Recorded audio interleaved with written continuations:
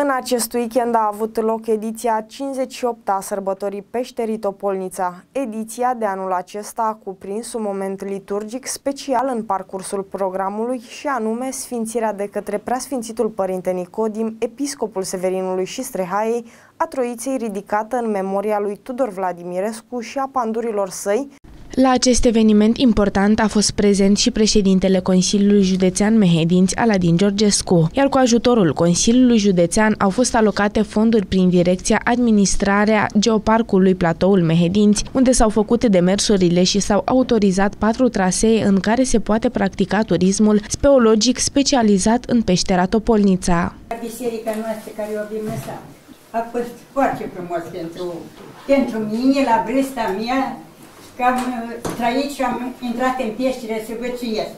Să fiți sănătoși, mai ducem. 89 de ani, da? Este un eveniment deosebit pentru comunitatea din, uh, din uh, zona Cireșu și nu numai, pentru că ceea ce ați făcut dumneavoastră nu se face în fiecare an.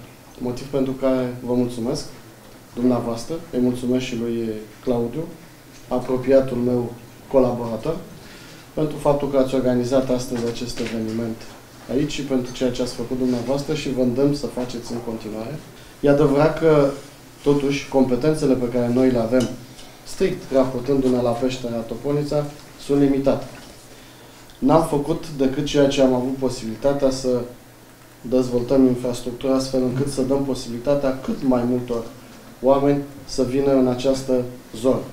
Primarul face eforturi extraordinare în fiecare an organizând sărbătoarea peșterii Toponița, îl susținem și noi, încercăm să dezvoltăm zona din punct de vedere turistic, clădindu-ne aceste eforturi pe acest monument natural extraordinar, peștera Toponița. Dar mai departe, ține de dumneavoastră să ne dați o mână de ajutor suplimentar față de ajutorul pe care mi l-ați dat până acum, să putem să facem un program pentru vizitatori, că sunt din ce în ce mai mulți doritori. Eu vă rog să găsim niște soluții astfel încât să creștem numărul de, de vizitatori, să putem să punem în valoare această zonă. Pentru că, ă, spre deosebire de anii anteriori, acum venim dinspre Severin pe un drum complet asfaltat, pe partea cealaltă, Malovăț, Maga, Cireșu, se lucrează și bănuiesc că ați văzut și dumneavoastră și sper ca până la anul, la următoarea sărbătoare a peșterii Topolița, căile rutiere să fie de foarte bună calitate și evident că o să crească numărul celor care vin în această zonă, dar ne vom izbi de aceeași problemă. Întotdeauna, când am vrut să mă bucur cu totul de farmecul, de frumusețea unei peșteri, eu, unul, am venit la Topolița. Topolița este pentru mine un loc extraordinar, din mai multe puncte de vedere.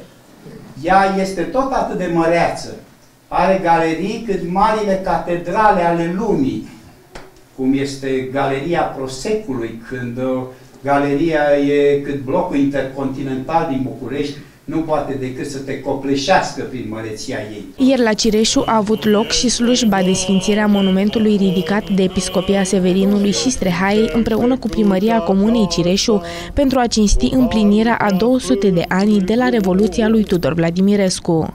Nici o pravilă nu oprește pe om a întâmpina răul cu rău. Șarpele când îți iasă înainte, dai cu ciomagul să lovești ca să-ți aperi viața.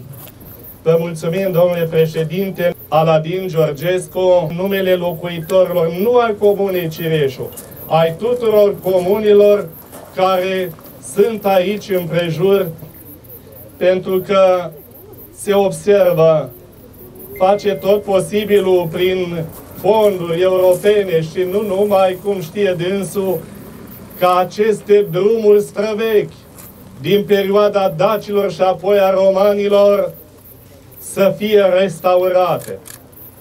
Într-o convorbire pe care am avut-o cu domnul președinte, am înțeles, dacă ajută Dumnezeu, la anul Dup duminica după Sfânta Marie vom face o inaugurare a drumurilor asfaltate în zona Peștera Topolnița de, la, de aici, de la Cireșu, 22 de kilometri în jos până la Malovăț. Slujba a fost săvârșită de preasfințitul Nicodim, episcopul Severinului și Strehaiei, iar monumentul poate fi văzut de pe dealul bătăliei pe drumul dintre localitățile Cireșu și Podenii.